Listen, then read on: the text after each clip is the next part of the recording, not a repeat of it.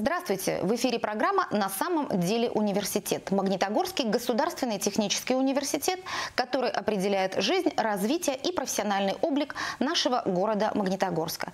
Сегодня у нас в гостях два кандидата технических наук, два сотрудника Института архитектуры, строительства и искусства, Суровцов Максим Михайлович. Здравствуйте. Здравствуйте. И Наркевич Михаил Юрьевич. Добрый день. А Давайте поговорим о том, почему вы, будучи выпускниками университета, остались и работаете здесь и по сей день. Вопрос к вам, Максим Михайлович. Вы знаете, Ольга, я когда-то давно приехал из своей деревни, мне выбрал этот наш университет. Я почувствовал, что в этом университете я получу то достойнейшее образование, которое позволит мне реализоваться. Дальнейший мой путь был через аспирантуру, и аспирантура привлекала нас к образованию, к преподаванию. И мы работали с профессорами и получали достойнейшие знания, и получали перспективы того, что сейчас мы реализуем уже будучи преподавателями и заведующими кафедрами. Вы увидели в этом городе какое-то будущее? Конечно, если бы я не увидел, я бы, наверное, куда-то уехал в другой город. Но этот город мне очень нравится, и я хотел бы, чтобы он стал еще лучше. Я уверена, что именно это вы и делаете сегодня, поскольку в своем институте являетесь заместителем директора по учебной работе и напрямую связаны с воспитанием профессионалов. Да. Что ж, Михаил Юрьевич, как вы оказались здесь и не просто оказались, но и остались в стенах университета, невзирая на то, что у вас есть и другая занятость. Вы директор НИИ «Промбезопасность». Что же вас удерживает рядом с МГТУ? А Для меня на сегодняшний день э, университет э, – это наука, это взаимодействие науки и производства, образования и науки, э, реализованное в виде э, программ образовательных различного уровня. Это и бакалавриат, и магистратура, и даже аспирантура. А, Правильно ли я понимаю, что вас э, еще привлекает и возможность использовать в исследовании промышленной безопасности все научные открытия университета, да? лаборатории исследования прочности стальных конструкций и так далее? Ведь есть же в этом какой-то здоровый конгломерат. Привлекаются самые современные открытия? Безусловно, все оборудование, которое имеет университет, все лаборатории, безусловно, они используются и в частности вот в той области, где занимаемся мы. Вот, это по-другому невозможно. И студенты как раз-таки, они привлекаются к этим исследованиям, и они вживую, воочию видят все, что там происходит. То есть непосредственно вживую наука и производство. И То, образовательный что и процесс. требуется сегодня. Да. Что ж, а, Максим Михайлович, давайте поговорим о студентах. А, Сколько вы их набрали в этом году? В этом году в наш институт было зачислено порядка 300 студентов. Причем это разные уровни по образованию. Мы набираем как бакал- бакалавриат, магистратуру, аспирантуру. А бакалавриат и магистратура.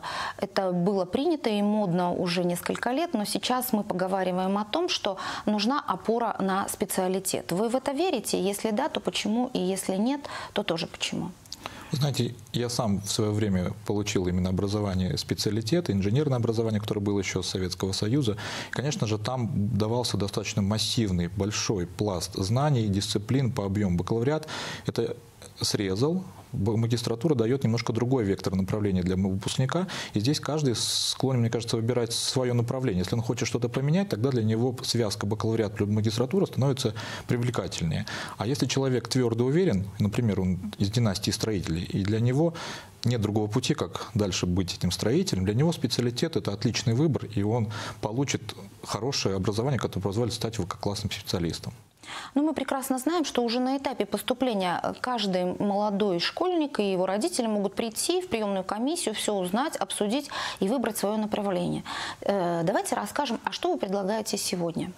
В настоящий момент наши направления, они э, подстраиваются все-таки под те вызовы рынка, вызовы экономики, э, потому что специалисты нужны разные, абсолютно разные, с разными компетенциями. Ну, конечно, вы знаете, такие классические направления подготовки, как промышленное гражданское строительство, теплогазоснабжение, это наши ключевые выпускники, партнеры, которые всегда у нас трудоустроены, наши Гипромес, Гражданпроект, Теплофикация, Водоканал и другие организации, которые очень нуждаются в таких специалистах. Кроме того, мы набираем такие направления, которые, скажем, более современные, потому что сейчас все-таки образовательный процесс и то профессиональные требования, которые появляются выпускнику, они другие. Очень много IT-технологий внедряются в производстве. И мы должны меняться, мы должны подстраиваться под это. У нас есть так называемые программы, которые в университете получили название пилотных. В этих пилотных программах студент может сконструировать свою собственную траекторию. Он может выбирать дисциплины для себя, которые ему более привлекательны. И он будет э, отличаться от других выпускников своего же направления. Соответственно, для работодателя он может стать более интересным под те ключевые задачи, которые ищет работодатель.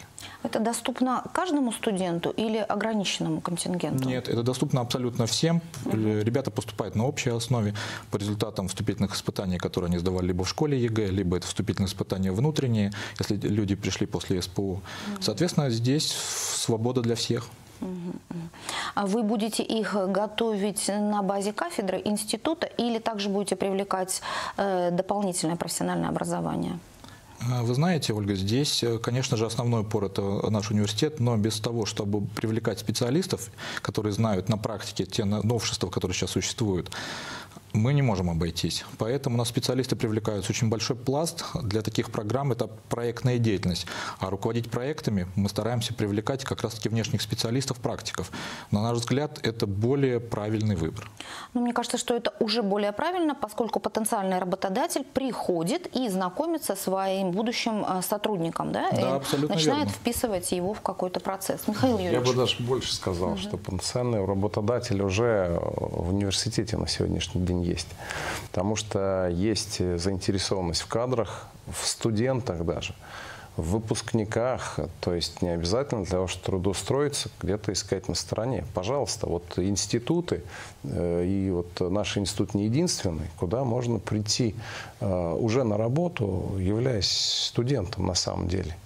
И закончив университет, и э, уровень бакалавриата и магистратуры также можно остаться в университете. То есть университет – это уже не просто образовательная организация, она уже это переросла. То есть это еще и теперь организация работодателя. Да, мы знаем, что в университете создан центр карьеры, и кроме того, каждый из вас, как педагог, как наставник, предлагает студентам вот эти возможности. Но все же давайте э, с вами, Михаил Юрьевич, обсудим, как с человеком, который больше работает в практическом поле, э, кто же является вашими партнерами для вот вашего института сегодня? На сегодняшний день якорным э, партнером э, является Магнитогорский металлургический комбинат, а, совместно с которым мы а, осуществили ряд проектов как по науке, так и в прикладной деятельности. Перебью вас. В том году вы говорили нам о том, что будут использованы дроны для исследования труднодоступных мест в производственных циклах и помещениях ММК. Это уже произошло? Вот то, что нам казалось еще не свершившимся в прошлом году, в этом году э, дроны уже вовсю летают. И то, что мы планировали, мы это уже на сегодняшний момент сделали. Здорово. А партнеры Института архитектуры, строительства и искусства сегодня это? Это крупные организации э, города и области. Ну, из города это, конечно, Магнитогорский гипромес. Э, это экспертные организации, допустим, тот же Техногарант и другие. Всего их сколько, если можно общей цифрой дать? Если общей цифрой дать, то более 30 партнеров. Угу. То есть 30 организаций напрямую зависят от того, каких профессионалов вы им подготовите, верно? Максим Михайлович, я э, ошарашена этой значимостью. И сейчас мне хочется задать девичий, возможно, глупый, но я уверена, вы мне его простите, вопрос. Давайте представим, что вас как института нет.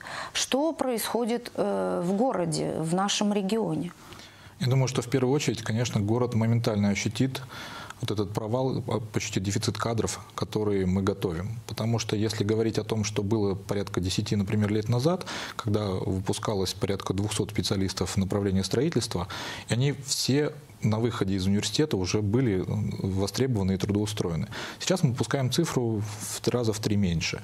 И, соответственно, уже этот дефицит кадров наблюдается. Мы это замечаем по тому количеству обращений в институт от организаций. Причем это как крупные, так это более мелкие компании, которые заинтересованы. И всем, конечно нужны специалисты. Все хотят получить самых лучших, но они у нас и так все самые лучшие. Соответственно, если не будет нашего института, то кто будет трудоустроен в этих организациях? Кто будет решать те задачи, перед которыми сталкивается город? Каким профессионалам мы доверим эксплуатацию наших инженерных систем и зданий? Что будет в целом да, с нами, как с городом?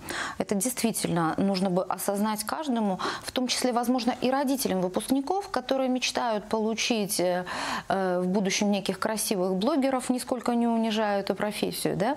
И давайте все-таки думать о серьезном, обосновательном. Михаил Юрьевич, вот э, Максим Михайлович сказал, что дефицит кадров, строителей, проектировщиков уже ощущается. Вы это тоже чувствуете? Конечно, нам, а, то есть мы выбираем для прикладной деятельности, собственно говоря, специалистов, ну, студентов тоже, но еще выпускников. А, не секрет, что, допустим, экспертов и специалистов, строителей а, просто не хватает. Поэтому то, о чем вот сейчас было сказано, действительно это есть. И это слышим мы от всех организаций городских. И когда мы определяем тот же самый КЦП, Контрольно-целевой прием. Контрольные цифры приема, mm-hmm. да, на следующий год мы, собственно, и учитываем. И планируем в рамках своих возможностей вот эти вот цифры. Что ж, э, пусть нас уж слышат люди, которые наделены полномочиями по формированию этого заказа в университет по цифрам приема. Пусть прием будет хорошим и успешным. Но давайте в завершении этой программы поговорим о том, что вы встречаете большой и серьезный юбилей. Вообще строительному образованию, подготовке строителей в городе уже 80 лет. Отсчет идет с года 42-го. Э, это чем был особенный год, Максим Михайлович? Михайлович, почему именно тогда?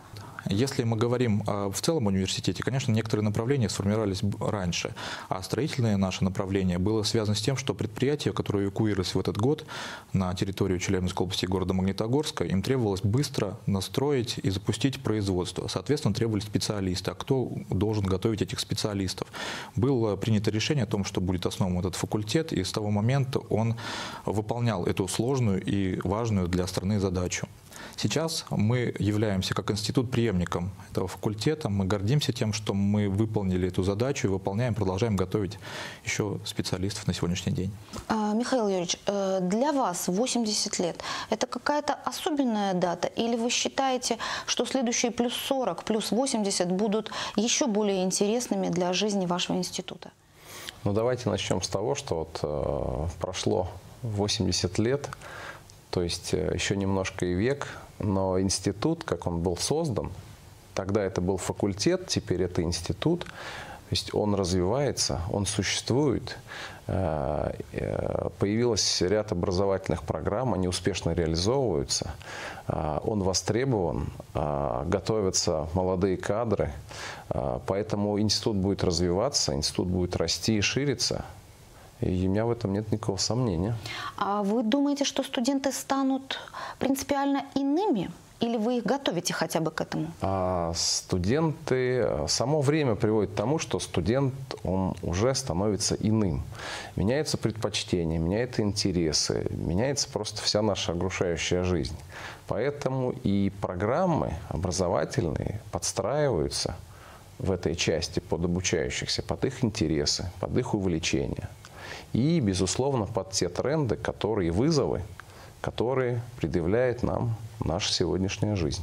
Новые задачи, новые истории, новые учебные программы, новые динамичные, современные, интеллектуальные и быстрые в мышлении студенты. В преддверии этого юбилея я вам искренне желаю, чтобы все получилось. И благодарю вас за то, что стали нашими гостями. Благодарим Спасибо. вас. Всего доброго, до свидания. До свидания. До свидания. А я напоминаю, что программа на самом деле выходит в эфир в городе Магнитогорске при поддержке стипендиального фонда депутата Государственной Думы Павла Владимировича Крашенинникова.